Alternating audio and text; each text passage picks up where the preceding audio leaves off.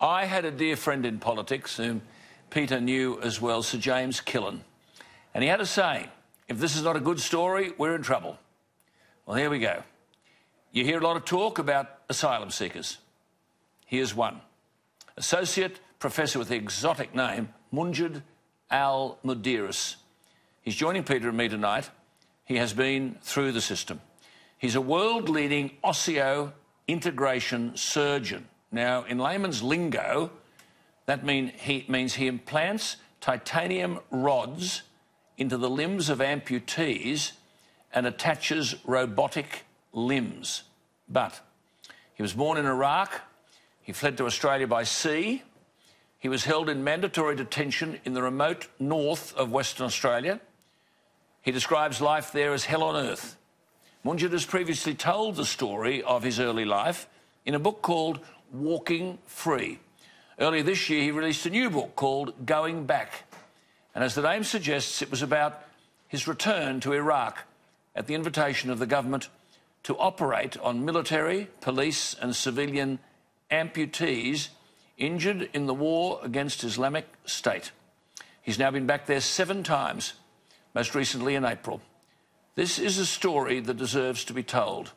And Associate Professor Munjed Al Muderis joins us here tonight. Wonderful. What a story. Can you believe all that? I can't believe it. I mean, you were born in Baghdad. What made you study medicine there? Um, thanks for having me here, by the way. And um, I wanted to study medicine since I was at the age of 12 when I watched the movie The Terminator, and I just was fascinated about the idea of having half human, half machine. And um, living in, in a war-torn country and seeing all these disabled people um, where they become um, a burden on the, on the society, I wanted to make a difference. And the best way to do it is through medicine. All right. Well, then, your life changed forever in October 1999. You were 27 you were working in the Saddam Hussein Medical Center in Baghdad, and a senior army officer, accompanied by soldiers, arrived with three busloads of deserters and draft dodgers. And what did that senior officer say to you? He said that all elective surgery was to be cancelled, and the deserters and draft dodgers were each to have one of their ears partly amputated by the order of Saddam Hussein himself. What did you do? Well, um, I just um, happened to be there on that particular moment, which was um, the most challenging moment in my life. The head of the department straight away opposed to the decision. Refused. And, yep. Um, and he said, This is against the Hippocratic Oath, do no harm, and um, I'm not doing this barbaric act. And uh, straight away, they dragged him outside to the car park in front of everybody. They put a bullet in his head. Then they turned to the rest of us and they said, well, now we attracted your attention and you know that we're serious. Um, anyone share this man's view, come forward, otherwise proceed with our orders. Um, so I you had dived into a locker room. so basically, I had to choose between obeying the commands and live with guilt for the rest of my life, uh, refuse and end up with a bullet in my head, or um, hide and. Can and you remember escape. now, as you're talking to us, what was going through your mind at that moment? Well, um, I just looked at my whole life um, of 27 years living in a very comfortable uh, way, basically in a bubble isolated from the from the war and everything, and all of that has vanished.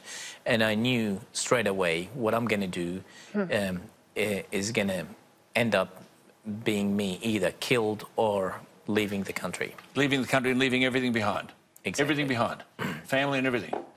Well, unfortunately, that's the, that was the, the case, and I didn't even get to get a chance to see my mum. Is your mum still alive? No, my mum passed away four years ago. But you did get to see her. I did get to see but her. But you got a bus, to, a bus to the Jordanian border, and you had these fake papers, which your cousin, I think, was an army officer, got hold of them. That's correct. And then you had twenty-two thousand dollars in cash taped to your stomach. That was given to you by your mum. That's right. How did you end up on a boat to Australia? Well, from um, Iraq, I was smuggled through the borders to Jordan. Jordan was not safe, and the only country that would give an Iraqi national a visa, especially with half a decent passport, was Malaysia. Malaysia would give Iraqi nationals 14 days visa to um, uh, study English. So I decided to take that trip. And then sequence of events led to me meeting a people smuggler. I met two young So you met a people, you met a people smuggler, am I right, in Kuala Lumpur? That's correct. Why, why didn't you apply for asylum in Malaysia? The problem with, um, um, if you look at Malaysia or Indonesia or any of the countries that um, are um, um, route uh, or pathway through uh, where people can um, escape uh, f- uh, through, uh, none of them are signatories to the um, Refugee Convention uh, Article um, or, uh, Yeah, but you're a doctor and um, you've come from a Muslim country. You've obviously got preference visa treatment into another Muslim country. Correct. Uh, you'd be much easier for them to take than someone perhaps like me.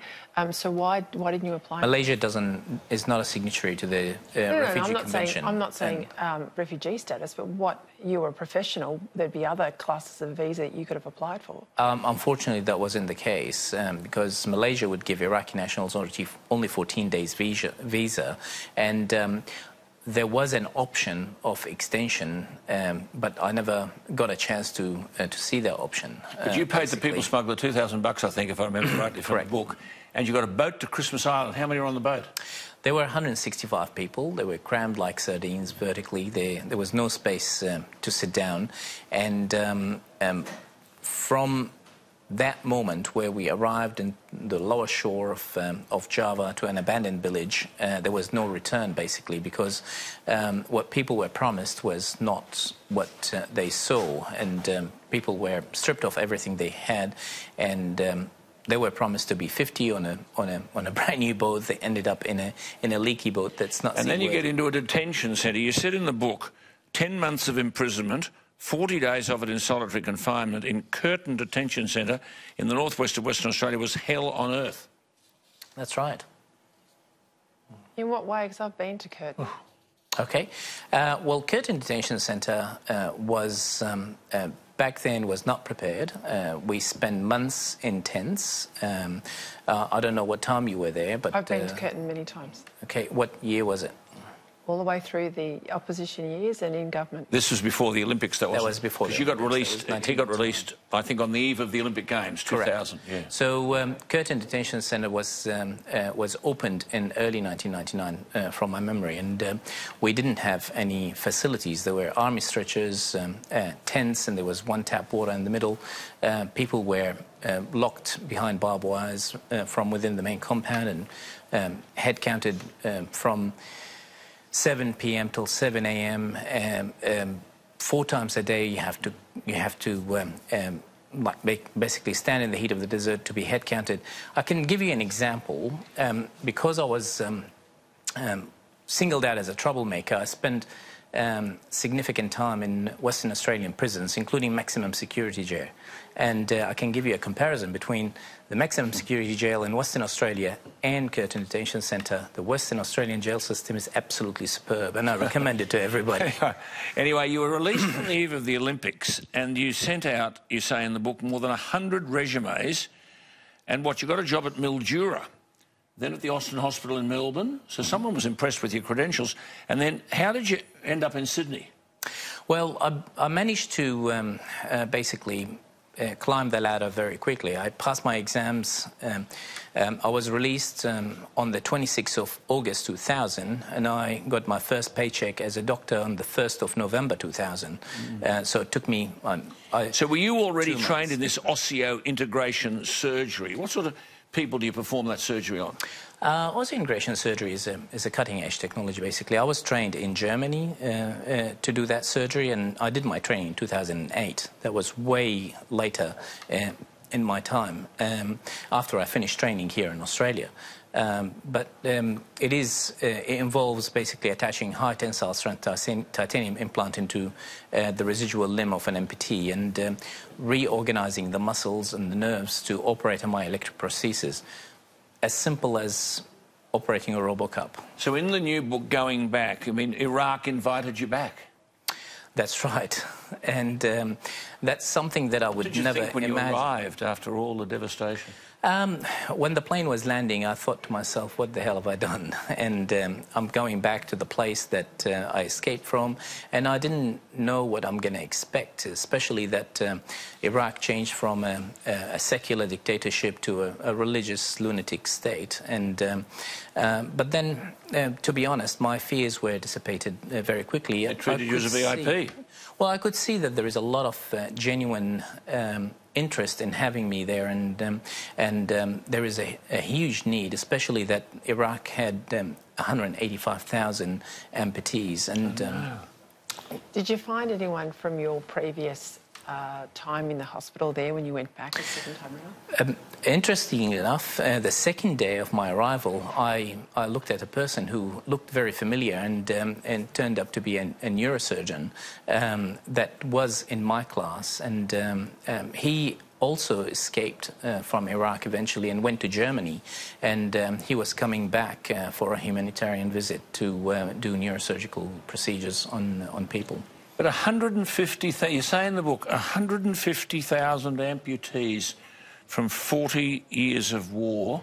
And I think you say in the first day you saw 90 patients. That's right. It was um, almost 95, uh, 95 patients, I think. Gosh. And half the people you recommended for surgery, say, decided against having it. That's right, and uh, we and the other half we decided they are not suitable the because the they were they um, um, because they were smokers, and um, and then we decided that. Um, you know, we, we're not going to end up operating on anyone.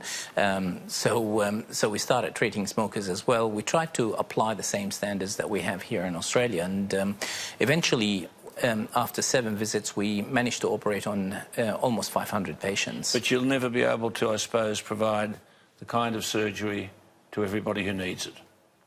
Well, I think um, it um, I started a nucleus of um, uh, of something that can snowball because a lot of people are following the same uh, footsteps. Um, the um, the hospital that I'm working at uh, has uh, had a great deal of funding now uh, from the government uh, with mm. the influence of um, the um, the publicity that we received over there. and keep going back. And well, if they let me in until the day they someone might kill me over there.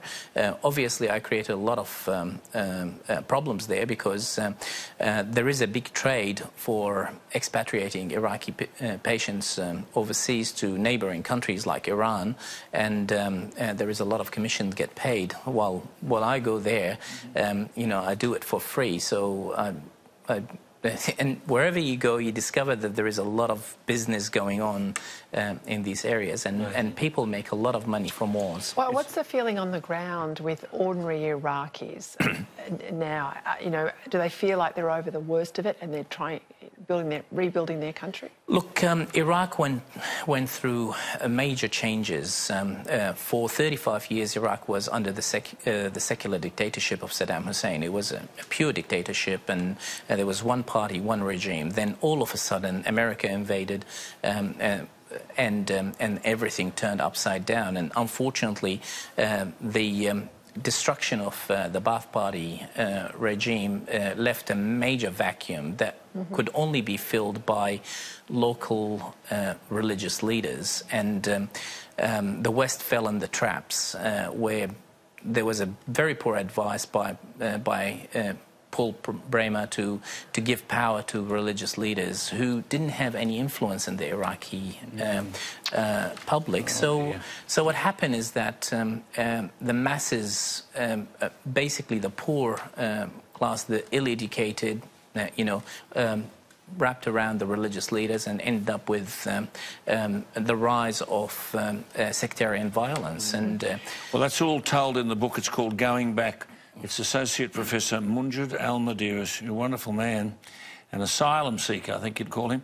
It's called Going Back. It's published by Allen and Unwin, and the first book's called Walking Free. Good luck. Thank you for what you do, and thank you for sharing it with us. Thanks for having me. Isn't that wonderful? What a story, eh? Ah, amazing story. Mm, gee, it makes us feel pretty insignificant in the scheme of things, I think, when you've got people like that.